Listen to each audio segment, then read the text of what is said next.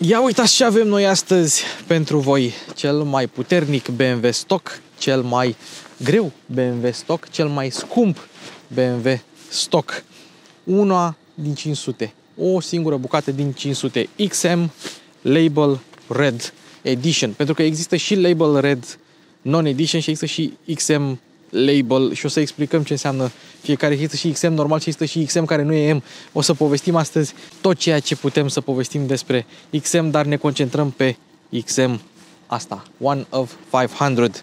Și este și primul M de sine stătător după M1. Este succesorul lui M1, supercarului M1, care a dat naștere brandului M, BMW Motorsport. Iată-l, BMW XM Label Red Edition. Aici pe mașini cu Luci Popa, care începe. A, vrei să-ți iei mașină? O duci la mecanic, foarte bine, o duci la reprezentanță, și mai bine.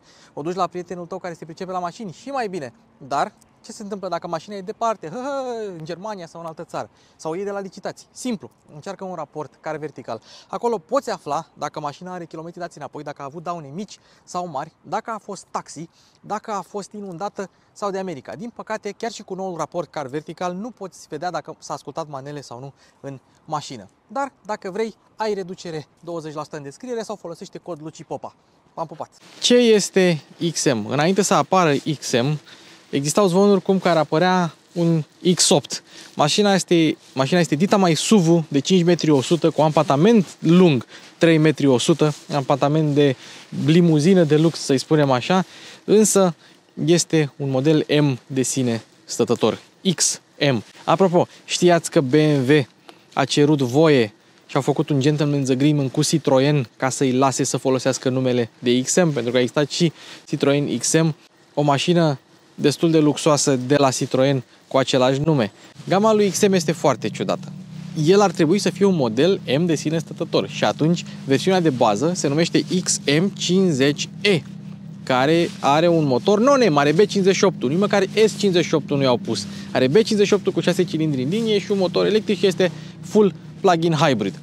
Urmează XM-ul normal, care nu are nicio altă terminație. Nu are 60, 70, 80, 1000 și așa mai departe. Nu, este XM și atât. Ăla are V8, S58, motor de M adevărat. Urmează versiunea Label. Și ca să înțelegem ce înseamnă versiunea Label, trebuie să pornim cu asta, cu Label Red. Label Red este versiunea mai puternică decât XM, care are 100 de cai în plus. Același V8, doar că are 100 de cai în plus.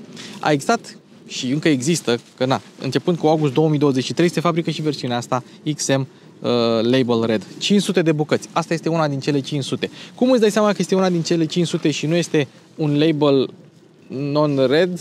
Pentru că avem accentele Toronto Red aici în față și pe, și pe difuzor, celelalte nu le au, și vopseaua asta uh, Frozen Carbon Black Metallic, care asta este înfoliată, dar o să arătăm și culoarea originală a mașinii. Ei bine, asta este label red. Uh, ce s-au gândit cei de la BMW? Stai mă puțin, că lumea vrea cei 750 de cai, dar nu poate să obțină una din astea limitate. Așa că au făcut versiunea label simplu, care are cei 750 de cai putere, nu este limitată, are Toronto Red doar în anumite părți și doar dacă specifici tu acest Toronto Red, dar este cu 10.000 de euro mai ieftină decât un XM Label Red Limited Edition, cum este aceasta. Ce înseamnă 10.000 de euro mai ieftin? Înseamnă că versiunea V8 pleacă de la 172.000, de la 198.000 pleacă labelul și asta, label Redul Limited Edition, 208.000 de euro versiune de bază. Eu am configurat una cu tot ce are asta, undeva la 224-225 de mii de euro. Na, cel mai scump BMW. Deci este cel mai puternic, e varianta cea mai puternică, cea mai rară, cea mai scumpă, cea mai de toate. Asta este label Deci cam asta este gama. Ca de obicei începem cu luminile. Avem farurile care sunt ascunse oarecum, fază scurtă, fază lungă, lumini de cornering, Matrix LED, nu mai există faruri cu laser pe noile modele BMW pentru că astea Matrix LED aparent sunt mai bune, atât pe fază scurtă cât și pe fază lungă, cât și la partea de antiorbire pentru ceilalți participanți la trafic și semnalizările pulsează după cum se poate vedea, așa cum se întâmplă la mai multe modele noi de BMW. Și evident pe oglindă avem tot LED. când am spus că mașina e înfoliată, sper că s-a înțeles că e vorba de folie de protecție. Mașina are folie de protecție pe vopseaua asta uh, Frozen Carbon Metallic, are folie de protecție chiar și pe stopuri. Da, în cazul în care vedeți aici uh, decupajul de la folie, să știți că e vorba de folie PPF, folie de protecție, nu e colantată. Și avem trei dungulețe aici pe post de stop în cazul în care vine cineva din lateral, stopuri full LED aici în forma literei L și semnalizările care pulsează acum la BMW. Al treilea stop de frână e aici, ceața împreună cu marșarierul se află jos și pe lateral avem reflectoare. O să discutăm despre design imediat. Ce mai vreau să mai verific este dacă se opresc semnalizările, nu se opresc nici semnalizările, nici stopurile atunci când deschizi portbagajul. Și un detaliu mai greu de observat, semnalizarea exterioară este mai bright decât semnalizarea interioară, probabil ca să delimiteze extremitatea mașinii. Acum nu vom ști dacă ăsta e motivul, doar am vrut să menționez acest lucru. Deci, acesta este capul meu și acesta este un rinic BMW de la XM. Mult mai mare un rinic decât capul meu. Cu toate astea, eu cred că se potrivesc stilului mașinii. Am un soft spot despre cum arată mașina asta, mai puțin în spate, dar în față îmi place. După cum am spus, Label red vine cu rinichii roșii și uitați-vă, nu doar că sunt roșii, dar rinichii sunt și iluminați. Avem grilă iluminată. Și încă un lucru la grila asta de XM, pentru că este un model M de sine stătător, avem aceste sloturi orizontale, nu le avem verticale cum sunt la alte BMW-uri. Și evident scrie XM cu roșu pe grilă. Hai să vorbim despre aer, aerodinamică și prize de aer. Cei de la BMW nu au declarat coeficientul aerodinamic la mașina asta, nu are nici măcar grilă activă, deci probabil coeficientul este mare, este mare. Cu toate astea, avem o priză de aer aici pe lateral pentru aerodinamică. Reduce, reduce presiunea în pasajul roții și creează efectul de outwash. Aerul traversează mașina pe lateral. Foarte bine.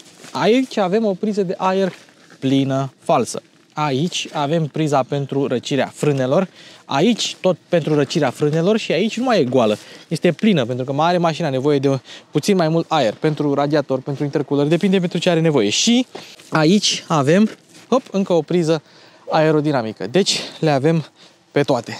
Așa de fan. Știți cât măsoară grilele? Rinichi. 1,20 m împreună. Capota e sculptată, e musculoasă și are acest traseu până la grilă împreună cu sigla. Unde am mai văzut ceva similar? M3, M4, M3 Touring și așa mai departe. Alte modele M BMW. Și îmi place că au păstrat această tradiție. Părerea mea este că arată mai bine așa decât dacă ar fi făcut o capotă. Cu ce ar fi umplut-o aici? Ar trebui să o umplă cu ceva.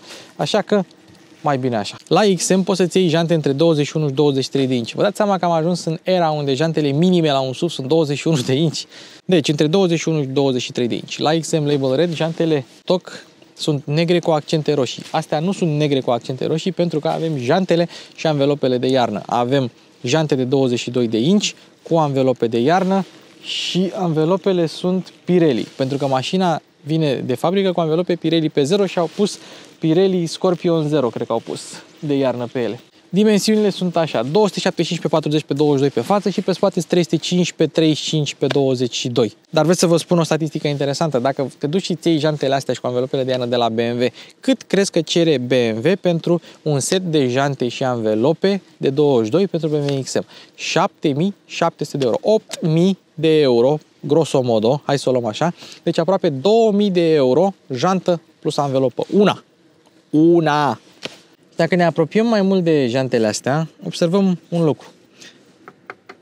Avem căpăcele de plastic, capace de plastic, iar partea metalică, diamond cut, este și pe interior. Poți să-ți bagi mâna în interiorul jantei. Așa ceva nu prea am mai văzut la, la jante, cu atât mai mult la jante stock. E un detaliu foarte rar. E ca și când te duce la dentist și ți-ar scobi acolo de o carie. Așa arată după ce i-au curățat cariile la jante. Avem etriere roșii, pot fi și albastre cu inscripția M și frâne mari. BMW nu a dat dimensiunea la frâne. Sunt curios dacă nu au trecut de 400 de mm și le e rușine sau pur și simplu au alt motiv. Dar pentru o mașină, care după cum am spus este cea mai grea mașină BMW făcută vreodată stock, 2,8 tone la gol, la gol. Iar masa maximă autorizată este 3,3 tone. Dacă depășești 3,3 tone, depășești masa maximă autorizată a mașinii. Deci nu au spus nici dimensiunea discurilor și nici nu avem discuri perforate, nici pe față, nici pe spate. Ceea ce au menționat totuși este că avem 6 pistonașe pe față și un singur pistonaș pe spate. Și totodată BMW îți dă opțiunea să alegi feeling-ul în pedală. Dacă vrei pedală normală sau pedală mai sportivă, o selectezi de acolo din sistemul de infotainment. Multe elemente de suspensie sunt împărțite cu X5M Competition și X6M Competition astea după facelift pentru că mașina împarte aceeași platformă cu acestea două. Evident, au fost uh, uh, calibrate pentru greutatea suplimentară a acestui XM. Însă avem double wishbone, basculă dublă pe față, construcție din aluminiu, așa cum ne-a obișnuit BMW. Iar pe spate avem multilink, 5 brațe, majoritatea din aluminiu, dar avem și elemente din oțel. Nu avem suspensie pe perne, nu, avem amortizoare hidraulice controlate electronic, adaptive, așa cum găsim și la X5M și la X6M, evident. Ce mai are mașina? Evident, X-Drive, dar nu orice X-Drive, M X-Drive. M X-Drive e doar o denumire de marketing pentru faptul că pachetul de ambreiaje care are rol de cutie de transfer transmite mai mult cupru, cupru, cuplu către puntea spate. Pe lângă asta, mașina mai are și sistem de bare stabilizatoare active pe 48 de volți, menit să țină mașina asta de 2,8 tone la locul ei fără să se încline prea mult. Mai avem direcție pe puntea spate, acesta este primul BMW M cu direcție pe puntea spate și totodată mai avem și un diferențial cu alunecare limitată, evident controlat electronic, așa cum ne-a obișnuit BMW. Să-i dăm cezarului ce al cezarului. XM are gardă la sol de 22 de cm, măricică. Și ai aici 23 de centimetri astfel încât să nu zghiri bordura, dacă, să nu zghiri bara dacă te apropii de o bordură când parchezi prin București. Ce mai putem vedea la XM este că varianta asta Label Red are ornamente din negru lucios mai peste tot, pe oglindă, pe suportul de oglindă, aici, da, la aripi, la praguri și nu reușești să ai contrastul ăla pe care probabil și-l doreau cei de la BMW în varianta asta de culoare. Mai avem aici și XM-ul roșu și o să și ce mai vreau să mai arăt aici la oglindă, nu găsești uh, deseori camere montate atât de drept. De obicei sunt în jos și bat spre spate. Asta de la XM pare că e o cameră din aia de sonerie, știi? Uh? Se uită așa la tine, te spionează, știi? Tu treci pe stradă și te spionează. E interesant pusă. Și oglinda fiind un model M este deschisă, vedeți? Avem suportul ăsta aerodinamic care nu... Opa!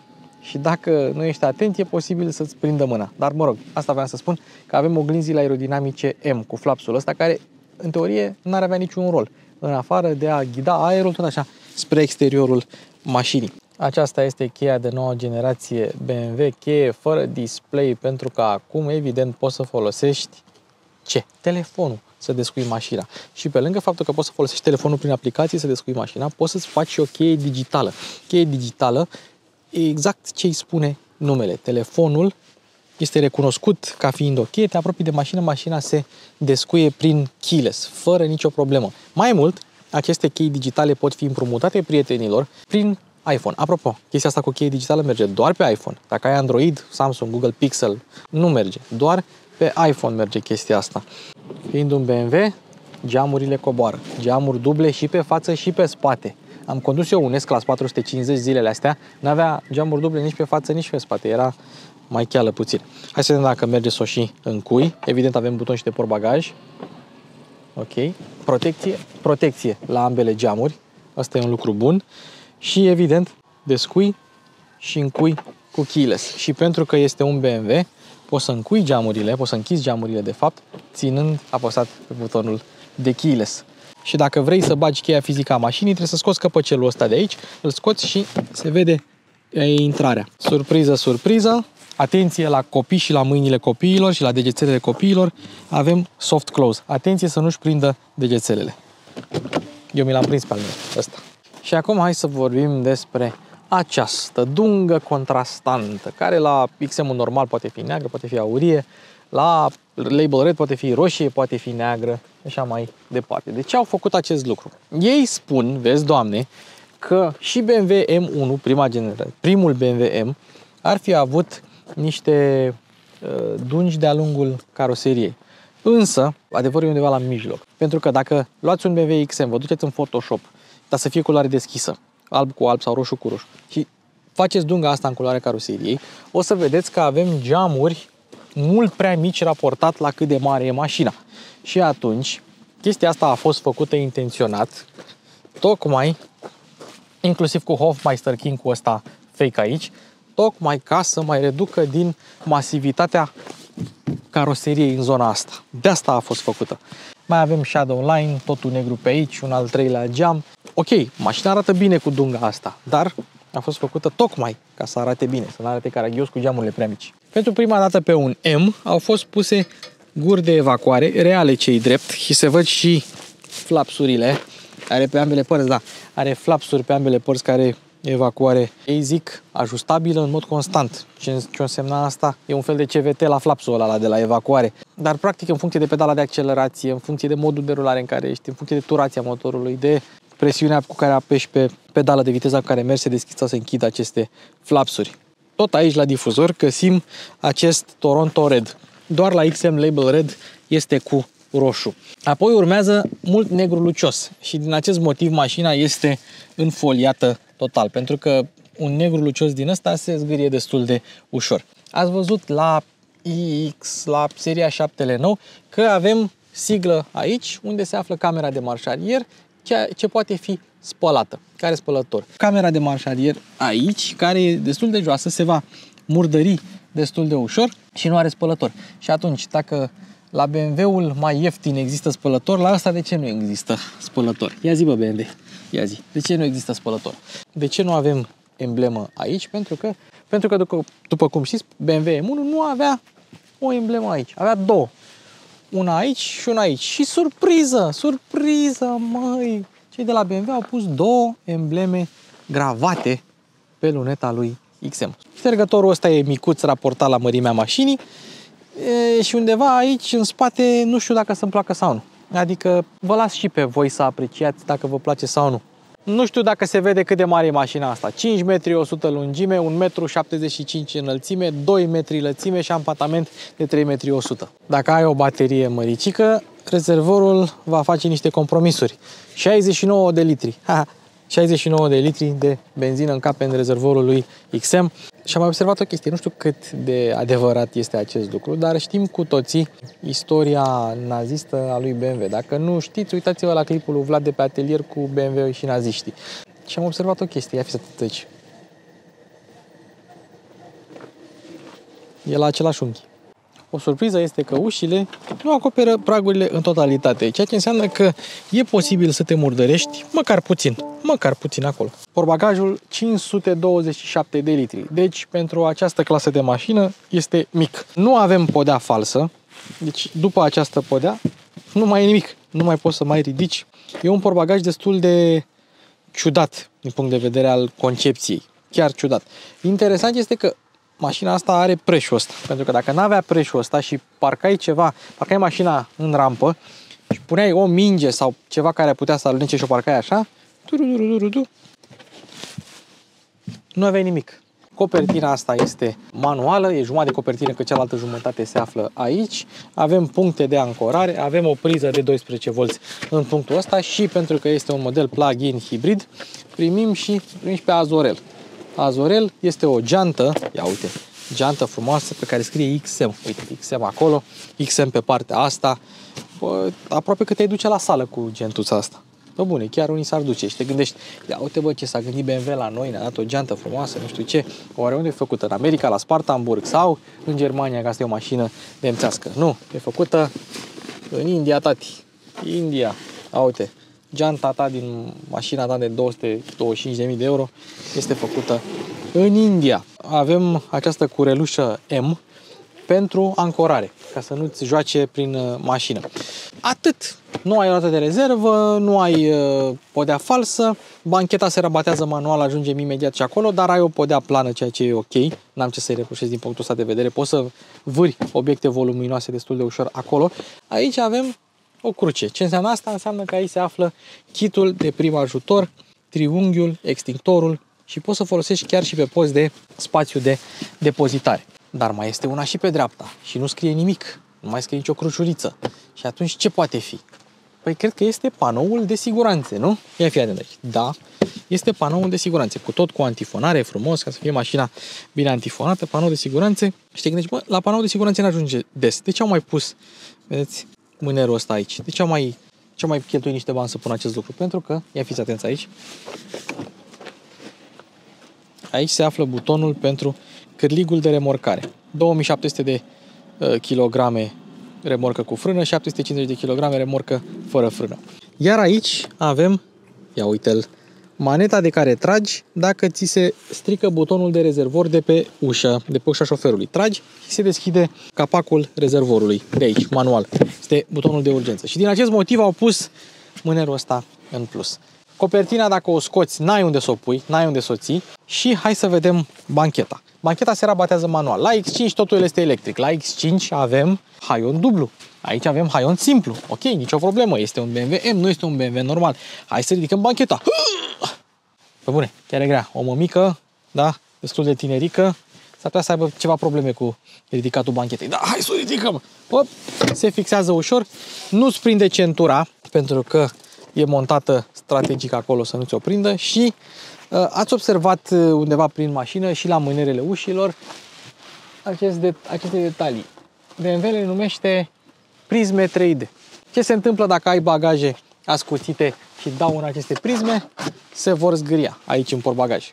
Dacă o descui, întâi se aprinde grila și după aceea luminile de zi fac un dans. Dacă o încui, dans altul și se stinge ușor, ușor și grila. Și în spate,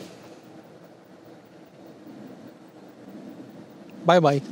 Deschidem capota și ce surpriză avem? Serie de șasiu cu WBS, serie șasiu de M. În rest, capota e mare, aluminiu, antifonare multă, amortizoare, n-ai ce să-i reproșezi, bateria e în spate, dar ai aici borna de plus, iar borna de minus trebuie să fie și ea undeva pe aici, unul din șuruburile acestea. Capacul de motor are sigla preferată a fanboylor BMW cu E46.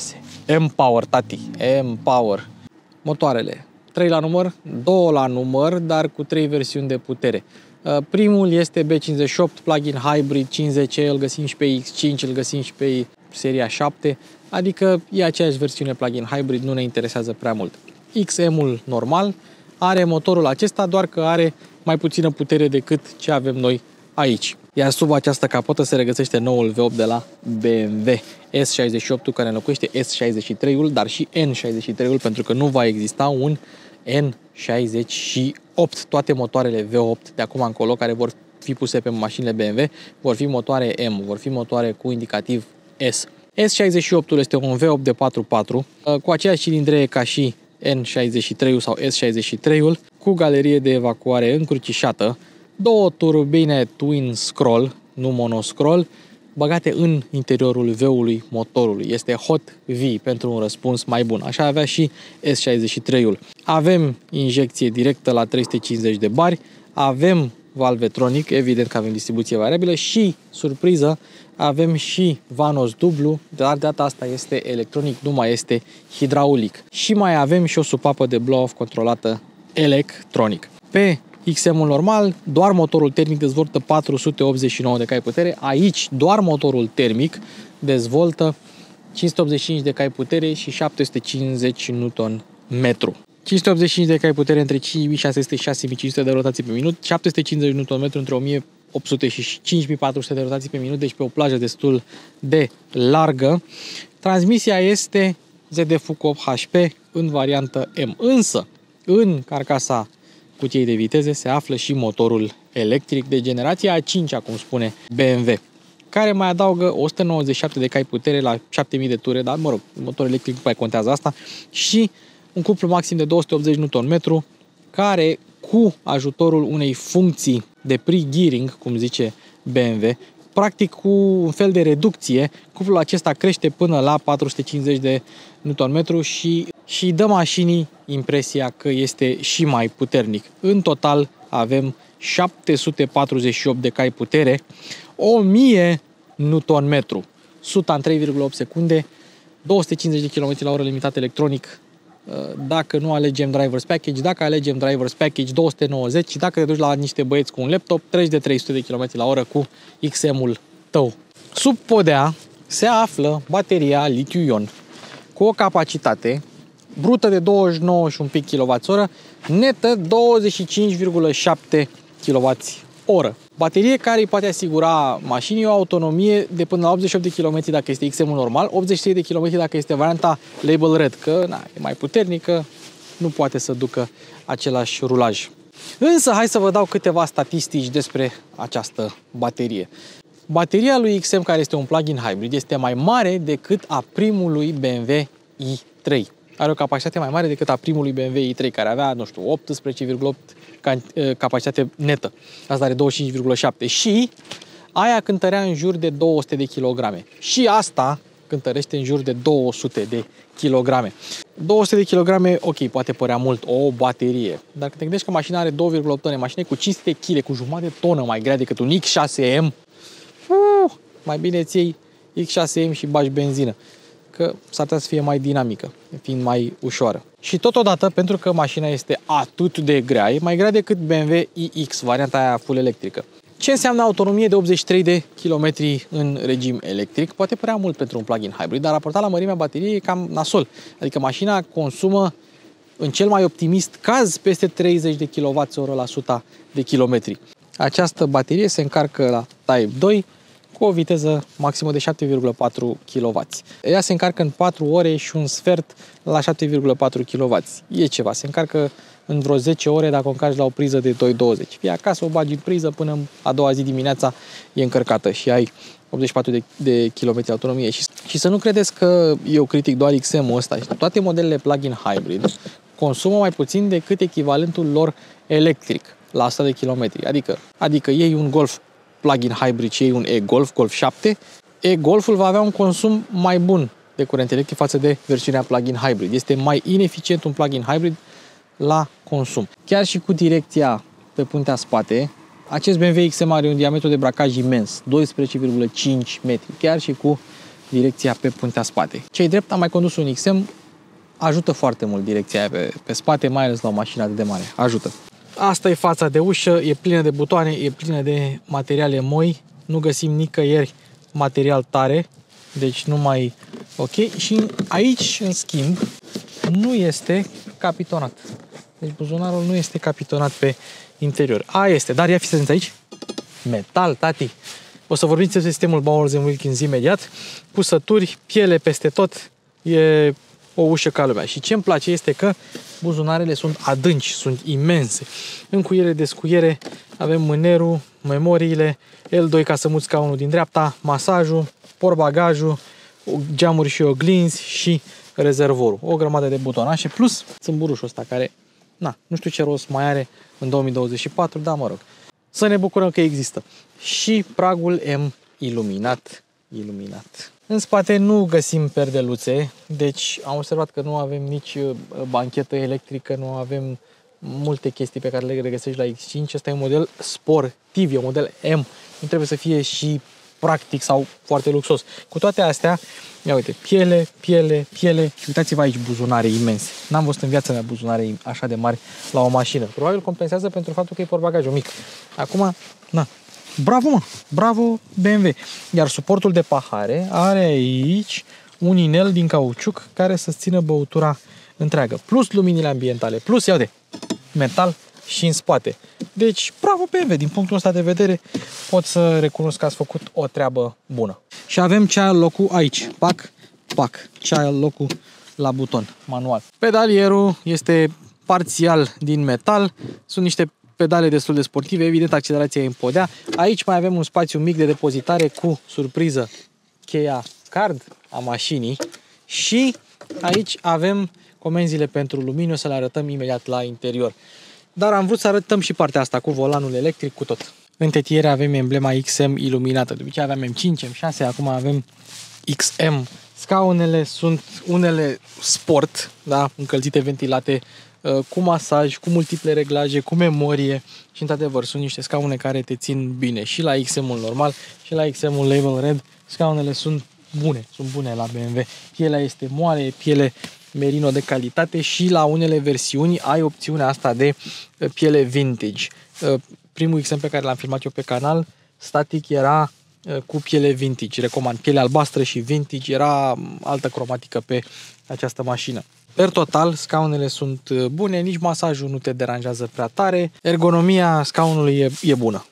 Și dacă vă întrebați de ce arată așa jumătate negre, jumătate roșii, astea sunt scaunele de pe XM Label Red. Negre cu cusături roșii jos, roșii cu cusături roșii sus. Volanul. Volan de BMW îl știm deja, doar că are efectul ăsta de oglindă pe spițe. Și vedeți, dacă ștergi de multe ori volanul ăsta, s-ar putea să se Uh, zgârie, să facă micro zgârieturi. Recomandarea mea, băgați o folie și pe volanul ăsta. Butoanele M1, M2, care sunt butoane personalizabile, sunt practic individual 1 și individual 2, cu săturile în nuanțele M, nuanța M și aici și evident slotul acesta care atestă că este un produs M adevărat. Plus, minus la padele, padele cu aceste elemente din fibre de carbon și doar pe label red, posibil și pe label, dar doar pe label red, avem inscripția Boost aici. Pe XM-ul normal nu avem inscripția Boost, deși avem funcția Boost. Evident, manetele normale de BMW cu semnalizări, dar multă lume nu știe ce este și butonul de board computer să poți schimba anumite valori pe aici. Depinde ce vrei tu să arăți în tabloul de bord, că există mai multe, o să arătăm mai multe tipuri de informații. Și îmi place că apare un XM aici în bord. Dar asta un puțin mai târziu. Avem cusături roșii peste tot la interior, bord acoperit cu piele. Avem fibră de carbon cu inserții a roșii și albastre, ceea ce înseamnă că BMW ține cu steaua și avem XM One of 500, pentru că este label red. Doar label red primește inscripția asta XM. Aici, în rest, interiorul e unul de XM normal, cu guri de ventilație inspirate de la seria 7, tot pe guri de ventilație găsim uh, mult roșu, pentru că na, label red, cu luminile ambientale care sunt de mare efect, o să vorbim și despre cele de pe plafon imediat, și anumite scurtături aici, pe cum avarii, dezaburire, Nexon Previous Song și volum. Spre deosebire de alți producători care pun imitații de piele aici, BMW pune plastic. E un căpăcel de plastic cu un arc aici. În momentul în care dai de volan, ba în sus, ba în jos, se mișcă și căpăcelul. Am zis că vorbim despre sistemul de sonorizare Bowers Wilkins, care costă opțional 4500 de euro, chiar și la acești bani, pentru că standard vine cu Harman Kardon. 20 de difuzoare, unele sunt și în uh, plafon, doar că sunt ascunse. Avem 4 difuzoare în capitonaj, gen pe aici, pe undeva. Aici sunt tot difuzoare și avem câte un woofer sub fiecare loc. Mă rog, 1, 2, 3, 4 locurile extreme. Cel central nu are. 20 de difuzoare, 1475 de W, sunet 3D surround și tweetere din diamant sintetic pur, un material care se folosește la difuzoarele uh, de înaltă performanță.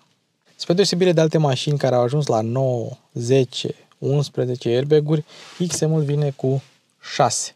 Două frontale, două cortină, cortina nu se împarte în două, e o cortină pentru toate locurile, două laterale față și atât. Nu avem laterale spate, nu avem airbag central, nu avem airbag-uri pentru genunchi, nu avem airbag-uri laterale spate, nici măcar opționale. Pe Audi, spre exemplu, găsești. Pe BMW nu găsești. Acestea sunt singurele șase airbag-uri care se găsesc pe XM. Iar airbag-ul uh, frontal al pasagerului iese din spatele tabletei. 225.000 de euro pentru un BMW fără trapă, dar de măcar ai prismă 3D cu 50 de LED-uri pe o parte, 50 de LED-uri pe cealaltă parte, iar atunci când pornești mașina, se arată așa. Mo, cât de tare! Și acum să, să oprim mașina. Pornesc din nou luminile ambientale. Cât de tare! Fiind un BMW, avem wireless charger USB-A pentru conectivitate, nu USB-C. Avem, ia uite, o brichetă sau o priză de 12 V, uh, două suporturi de pahare și poți să le faci mai mici sau mai mari dacă vrei. Ele sunt răcite sau încălzite în funcție de preferințele tale și urmează schimbătorul de viteză pe care îl știm deja de la alte modele BMW cu trei moduri de schimbare de treaptă, controllerul pentru sistemul iDrive care încă mai are rotiță, iDrive 8,5 de data aceasta. Fun fact, la label red i-au pus 8,5. XM1 normal a început cu 8, dar s-a pus 8,5 la modelele următoare. SP off, camerele, senzor de parcare, butonul de start care este cu roșu, setup, M-mode, M-hybrid, o să le arătăm fiecare ce înseamnă, evacuarea, auto hold, frână de parcare electrică, hill descent to control și cam atât pe această consolă. Încă nu s-a trecut la mm, versiunile alea cum găsești la XM și i7 sau seria 7, încă se mai păstrează acest sistem de, tradițional de, de butoane. Nu ai un panou cu touch și cu răspuns haptic. E și buton, doar că miști tot panou. Ați văzut voi la Mercedes. De asta mi se pare că Mercedes pierde la capitolul ergonomie. Bun, un USB-C pentru încărcare și o cotieră capitonată. Acum, ce vreau eu să spun uh, legat de asta? Vreau mai multe USB-uri. Dacă Lexus RX îmi pune 4 USB-uri în, și o priză de 12V în față, puneți-mi și voi mai multe USB-uri. Am văzut că buzunarele sunt mari, cotiera e ok, suporturile de pahare sunt răcite și ventilate și avem un uh, torpedou capitonat, amortizat, iluminat, dar nu este ventilat. Dacă ai nevoie să răcești ceva, răcești în suporturile de pahare, inclusiv telefonul. Vorbind un pic despre climatizare, așa închizi gurile de ventilație. Deci le poți regla așa, dar ele se închid așa. Și hai să criticăm un pic sistemul de climatizare, pentru că, observăm, intrăm în meniul de climatizare, toate funcțiile de climatizare sunt oprite, e inclusiv scaunele încălzite și volanul încălzit. Și cu asta nu sunt de acord. Trebuie să pornești ventilația, chiar dacă tu nu vrei să uh, pornești scaunele încălzite, ventilate, volanul încălzit ce mai vrei tu, apoi dacă oprești ventilatorul, se opresc și scaunele.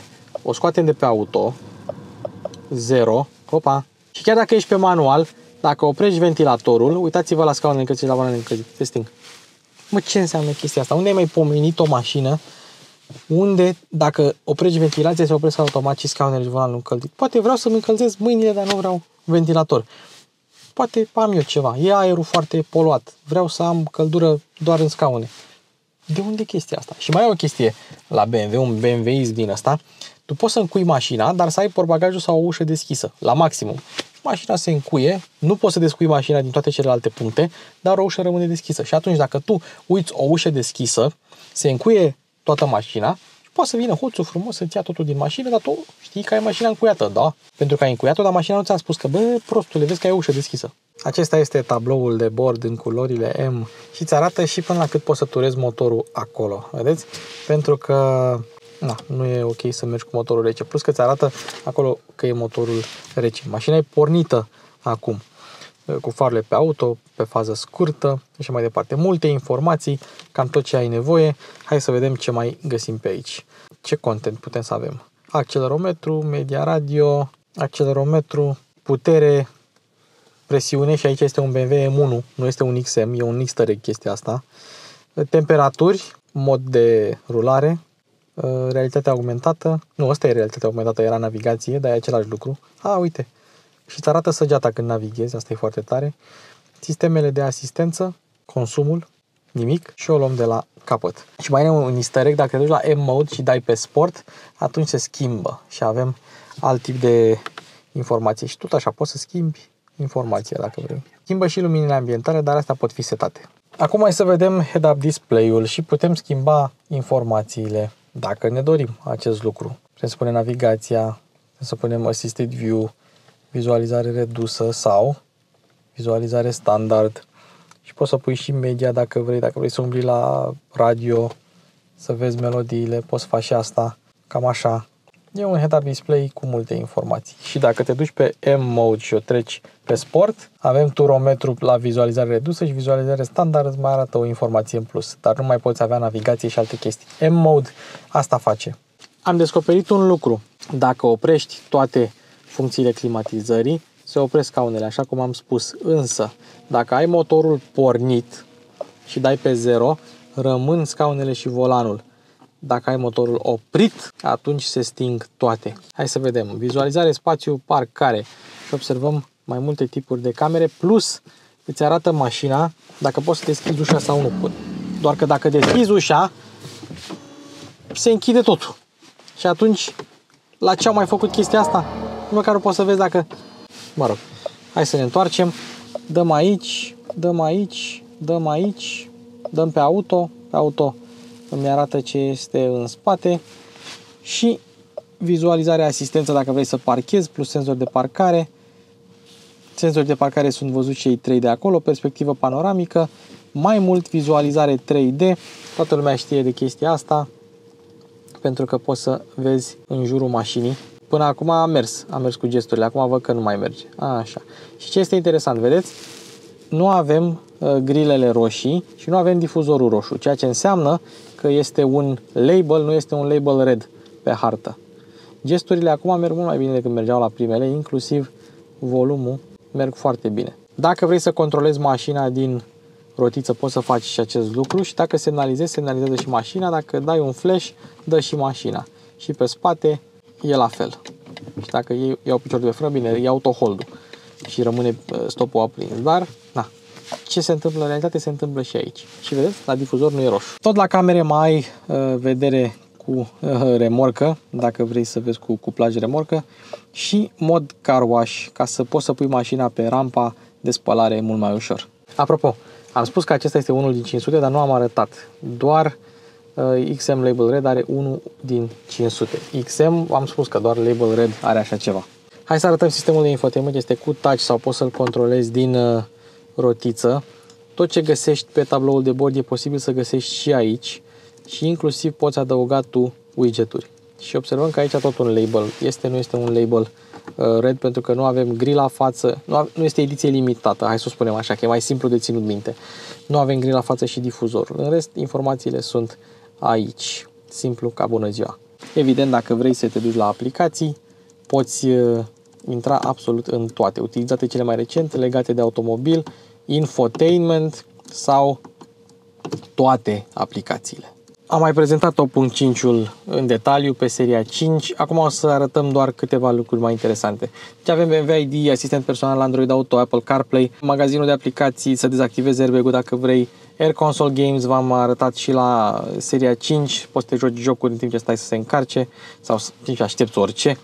Asistență BMW, cheie. Aici cele trei tipuri de chei, cheia fizică, key cardul pe care l-ați văzut mai devreme și cheia digitală pe care poți să o faci pe un iPhone. Meniul climatizării l-ați văzut și mai avem confort scaune. Scaunul pasagerului din față îl poți mișca dacă vrei, are și masaj dacă dorești și mai multe setări tot așa de scaune. Dispozitive mobile, drive recorder este sistemul de camere de bord ale mașinii, poți să înregistrezi, nu mai trebuie să-ți mai cumperi tu camere de bord. Cum puteai să cumperi, era 25 de milioane sau ceva de genul o cameră la un X3 mai de mult. Acum poți să folosești camere de bord direct din mașină. Setări în ceea ce privește ecranele, head-up display, panou de bord și display central, tot felul de setări. Hotspot personal, ai modul 5G în mașină, iluminat interior, inclusiv lumini ambientale, poți să selectezi culoarea dacă vrei și intensitatea și așa mai departe. O lăsăm pe albastru așa cum era. Informații despre țară, asta e tare pentru că îți arată limitele de viteză, regulile de circulație. Asta e foarte mișto. Încărcare, live vehicle, aici sunt cele mai multe informații ceea ce privește mașina, conținut adaptiv, status automobil, date de călătorie, consum și alte chestii.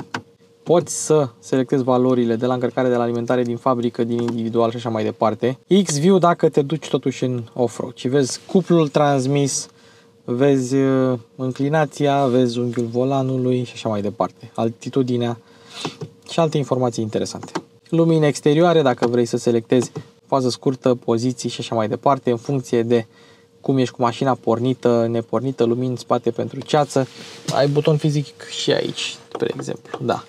Dar ai și pe ecran dacă vrei așa ceva, manual de utilizare, mesaje, mesaje BMW, știri, parcare, senzor de parcare de fapt, inclusiv parcare automată, portiere și geamuri, preferințe, radio, setări, tot felul de setări, control vocal, Hey BMW, ai asistent personal BMW cu Hey BMW, Hey BMW, dar ai și Siri. Asta e foarte tare, pentru că poți să-l selectezi pe Siri sau să o selectezi pe Siri să fie asistentul tău personal de bază. Asta e foarte tare. Sisteme de navigație, sisteme de condus, o grămadă de sisteme de asistență, inclusiv lanțuri sau frâne de parcare, deplasare în mod electric, electric la pornire. La setup ai modurile de rulare, inclusiv recuperare, propulsie și asiu direcție, direcția electrică evident, frână, confort și sport, MX Drive cu 4-wheel drive, 4-wheel drive sport și 4-wheel drive sand, nu ai 2-wheel drive, nu poți să dezactivezi puntea față. Și configurare M1, M2, astea sunt personalizabile. Nu vă imaginați că M1 este soft și M2 este hard, poate să fie cum vrei tu.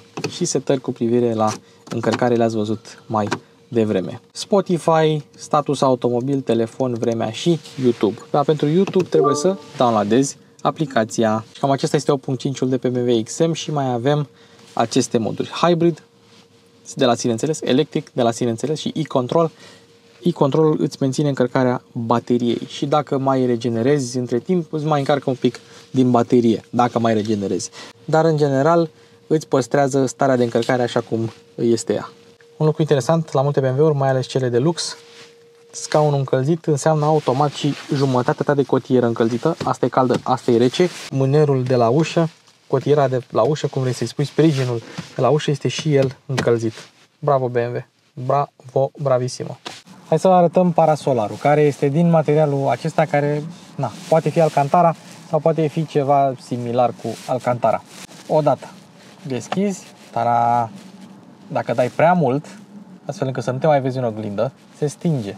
Și dacă l prinzi și scoți de aici parasolarul și îl întinzi din nou, se stinge pentru că știe că nu ai nevoie de lumină dacă nu se uită oglinda direct la tine. Asta e foarte tare. Ce nu este foarte tare este că trebuie să plătești în plus pentru Driving Assistant Professional, adică pilotul automat adaptiv cu toate funcțiile sale. Una din acele funcții este să evite coliziunile laterale. Adică virează, frânează, face ceva astfel încât să evite. Da, e mișto tehnologia asta. Însă, scrie, după ce plătești Driving Assistant Professional, 2600 de euro, funcția asta scrie, deci îți, îți dă toate informațiile în limba română, după aceea scrie în engleză. Not available in Romania. Deci nu s-au chinuit să traducă not available in Romania. Știți cât costă garanția extinsă până la 5 ani și 200 de km la mașina asta? 11.500 de euro. Mai e o mașină mai e o mașină.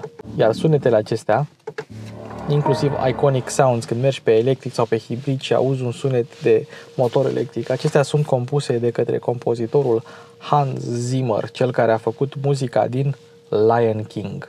În spate ai loc, chiar și cu scaunul dat în spate, acum ai dat în față, recunosc, dar chiar și cu scaunul dat în spate ai loc berechet. Ai și pernuțe, pernuțe pe care le poți desface și po- le poți spăla dacă vreodată ai nevoie de așa ceva.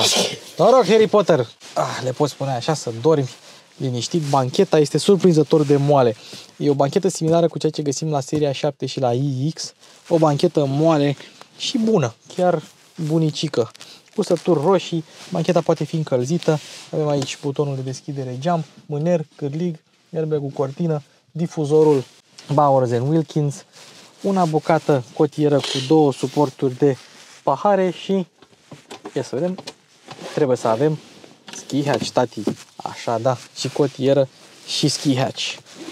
Măcar asta e mai ușor de deschis față de toată bancheta. Dacă ai putea să-i reproșezi ceva mașinii, este faptul că chiar și pe timp de zi e un pic uh, întunecată. Acum știu că ne-a prins noaptea, dar nu avem ce să facem.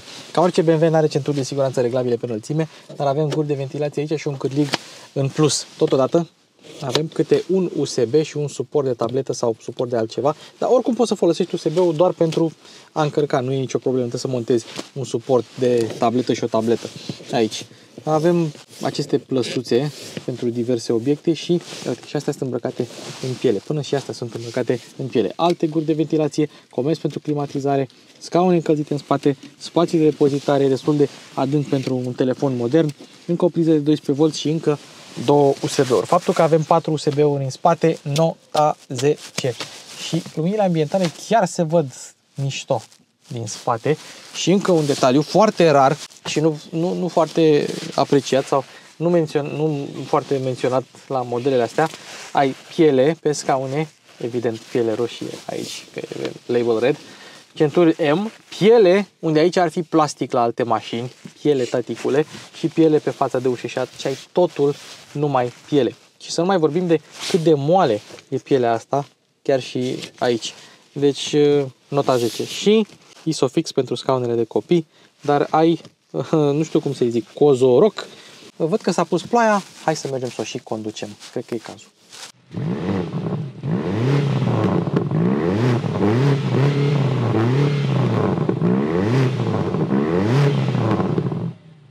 Nu știu cu ce să începem. Hai să începem cu un pic de talpă, una scurtă. Bă, ce pocă ne evacuare, auziși? Păcat că uneori se aude de la Hans Zimmer niște sunet de blow-off fake. Dar evacuarea chiar face pocuri. Cred că se aude un pic mai, mai bine decât la... Bine, am mai dat o tură, am încins motorul și mai departe. Cred că se aude mai bine decât la XM normal. Dar se aude și un pic în, în boxe. Trec pe manual. Bun. Și acum suntem la ferocitatea 1 a transmisiei, care e cea mai smooth. Intrăm în localitate, M-Hybrid, electric și așa mergem pe electric. Pe e-control, mașina încarcă de la regenerare un pic foarte puțin de la motor, dar nu are un mod din asta să dai motorul pornit mereu ca să încarci uh, de la motor. Nu. Pur și simplu încarcă de la regenerare. Hai să vedem. S-a pus ploaia. Să vedem. Nu avem diuze integrate. S-a pus ploaia. Mergem pe electric. Se aude zgomot de la anvelope. Pasatul ăsta, voi știți cu ce viteză a venit din spate. Deci eu i-am dat talpă și îl vedeam. Pasatul 1.9 TDI e forță. Forță, forță. Oglinzile sunt un pic mici. Vizibilitatea în general e bună. Când o treci pe sport, chiar dacă ești pe electric, ia uite, luminile ambientale se fac roșii. Acum pe electric, ia, dacă accelerăm, ia uite pe Hans Zimmer, Lion King. Mm. Și la Mini și la Rolls-Royce, toate sunetele sunt de Hans Zimmer. Am pus și cadranele în sport, de fapt am pus M-mode-ul, M-mode în sport, doar sisteme de asistență și doar grafică. Atât. Restul se reglează din setup și din M-Hybrid. E o, e o întreagă harababurost, o mie de moduri. Dar ce trebuie să spunem? Scaunele foarte bune, excelente, confortabile, susținere laterală, tot ce vrei de la, de la ele, fără nicio, nicio problemă. Recomand. Poziția la volan e un pic ciudată, mi-ar plăcut să fie volanul un pic mai jos. Un pic, cam, de loc să fie aici, să fie aici. 2 cm un pic mai jos și ar fi fost blană. Mașina atinge suta în modul electric cam în 10 secunde. Nu e lentă deloc și prinde cam 140 pe electric. Uite un pui de pisică, ce drăguț. Ia. Hans Zimmer așa. Deci pachetul acum mergi cu 200 de cai, 280 Nm. E ca și când ai avea un motor electric și ai accelera lin. Mașina se descurcă foarte bine pe aceste moduri. Direcția e ușoară, nu are foarte mult feedback, simți mai mult ce se întâmplă cu asfaltul de la, de la asfalt, de la șosea. Ai jantele foarte mari și suspensia, chiar dacă o treci, uite, mergem, mergem și o trecem pe confort și tot simți asfaltul. Adică nu o să plutești niciodată, nu e o mașină de plutit, în niciun caz. Ui, avem toate lucrurile pe, pe sport, chiar dacă suntem pe electric, doar suspensia pe confort. Și cu toate astea tot simți. Iar pe denivelări, dacă sunt denivelări scurte, le simți. Bine, acum e drumul perfect, dar pe denivelări scurte chiar le, le simți. Un detaliu interesant. O, am trecut-o iar pe M2, trecem pe manual și trecem ferocitatea. Schimbării treptelor pe 3. Ei, și atunci se întâmplă chestia asta, că schimbi treptele. Ai șuturi artificiale din partea transmisiei, ca să pară mai sportive. Și atunci când schimbi, ia fiți uitați-vă la capul meu. Ai efectul ăsta de robotizată. Schimbările nu sunt cele mai rapide nici pe modul cel mai feroce și cred că nu sunt mai rapide nici acum față de modul 1 sau 2, doar că pur și simplu simți ferocitatea asta, ai impresia că e mai sportiv, dar nu e. Uite, o dăm pe 1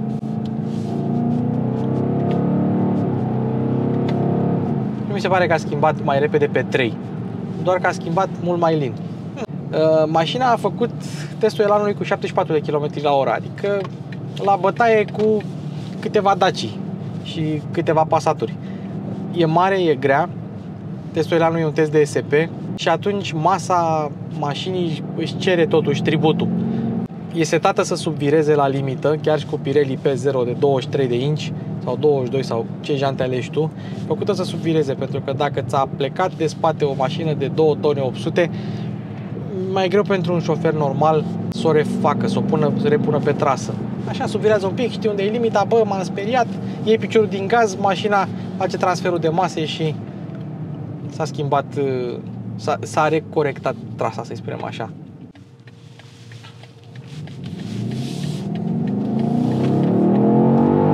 Pleci cu ea, ha, nu schimbă pe manual. Ce tare! Asta e un lucru bun, că nu schimbă pe manual. Și ce auziți aici, mult sunet în boxe și uneori se aude și sunet de blow-off. Ăsta tot de la Hans Zimmer e. Mi-a dat semnal dreapta. Mi-a dat semnal dreapta să mă duc. Dar am dat așa un plec, plec.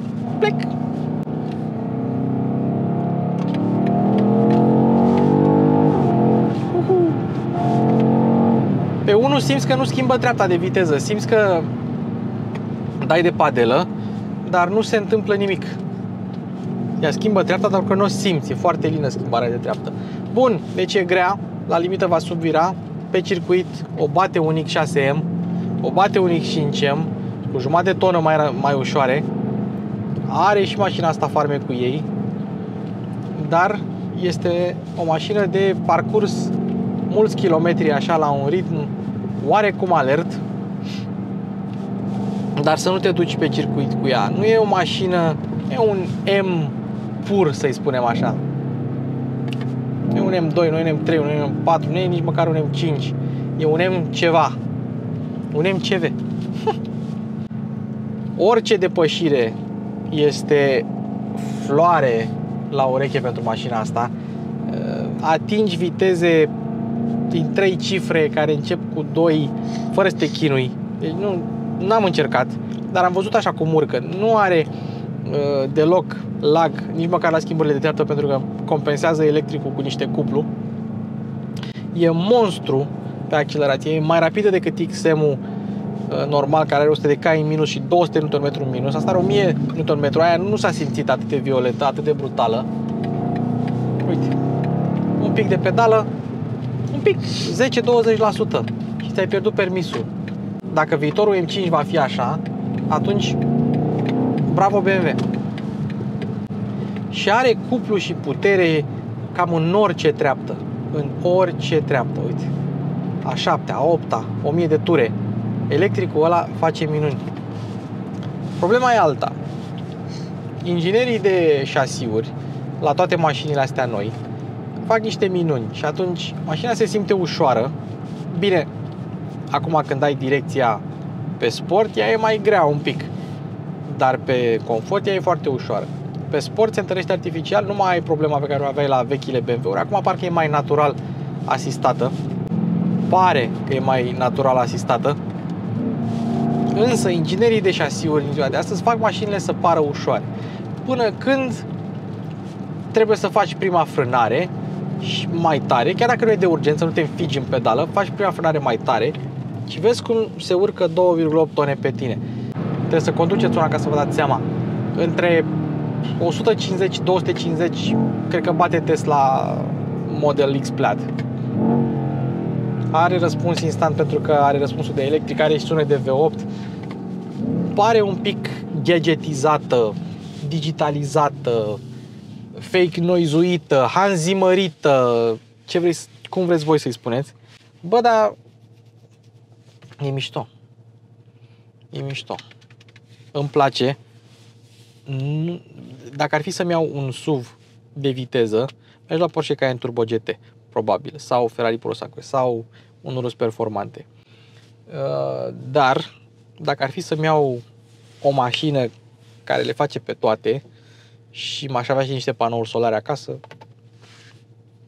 bă, mă vezi? A, ah, și nici măcar nu m-am plâns de volanul gros. Și da, e gros. Și dacă vă luați padelele astea, uh, luați-vă luați-vă niște padele magnetice, cum am văzut la M3 Touring de pe canal și faceți-le magnetice și bucurați-vă de mașină. XM, label red, pe mașini cu Luci Popa. Vă mulțumesc pentru atenție. Eu am fost Luci, Harry Potter la cameră, Bogdan la editare și nu uitați că Alpina aia B7 încă este de vânzare. Așa că cumpărați-o cât mai puteți. Vă mulțumesc pentru atenție, ne vedem data viitoare, sper că v-a plăcut. Mașini cu Lucipopa se încheie. Să pui asta cu muia, Bogdan. Da, da, să... și așa arată mașina noaptea, cu farurile pornite și grila pornită, aprinsă. Cum vi se pare? Mie mi se pare că e spectacol.